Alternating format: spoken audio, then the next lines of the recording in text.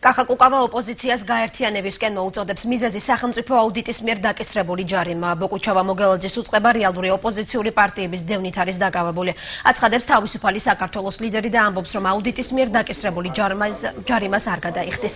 შეგახსენეთ, რომ სასამართლომ კუკავას პარტიის შემომწირველები 244845 ლარით დაეჯარიმა.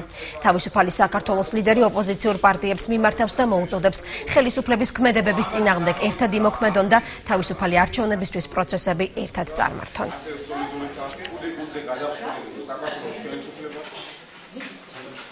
დაჯარიმა გუშინ კონტროლის პალატამ თავისუფალი საქართველოს 300.000 ლარით და გარდა ამისა დაჯარიმებული იქნა კიდე ერთი ქართული ოცნების კოალიცია. თავისთავად დაჯარიმებულის ნუსხაც ძალიან საინტერესოა რომ ხელისუფლებას არ უჩნდება რატომღაც არანაირი კითხვები.